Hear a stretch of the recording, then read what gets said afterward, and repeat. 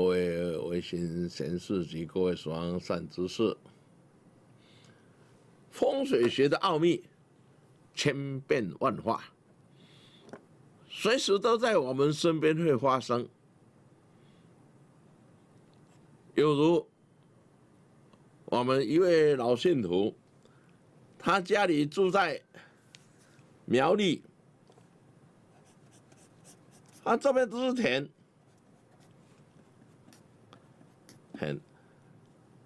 啊，住的好好了，对面也是人家的土地，啊，他就盖了一间小别墅，啊，那围墙，他的土地就到这里，啊，围墙起来就像一把刀，往里面射，射进来，第一是刀。第二是白虎昂头，第二，第一是刀，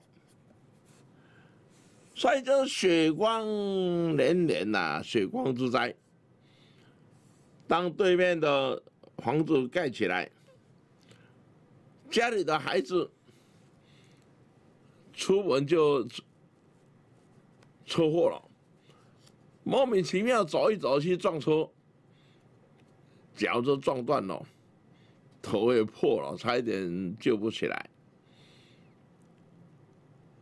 啊，后来一个一年，人家介绍来找老祖啊，求王城老祖。我再到去苗栗去帮他看。哎呀，你这个前面这个刀子围墙。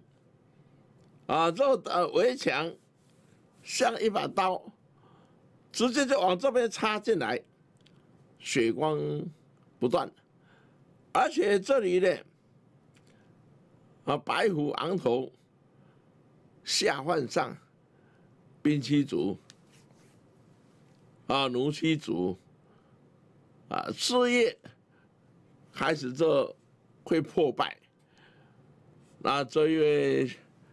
先生呢？他说盖起来以后，两个孩子都不听话，所以两个孩子呢变成很凶。一个朋友啊，就来诬赖他的大儿子，说他帮人帮人偷牵摩托车。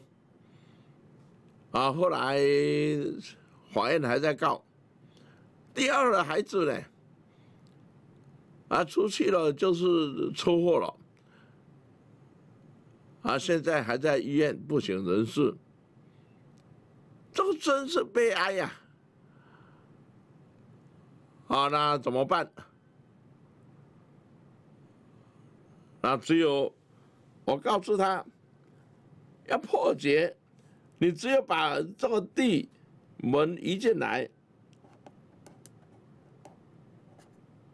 移进来，门向这边来，门向这边，啊，不要往这边看，啊，最简简单可以化煞，可以把这个煞气化小一点，要完全平安是比较困难。所以这一位先生，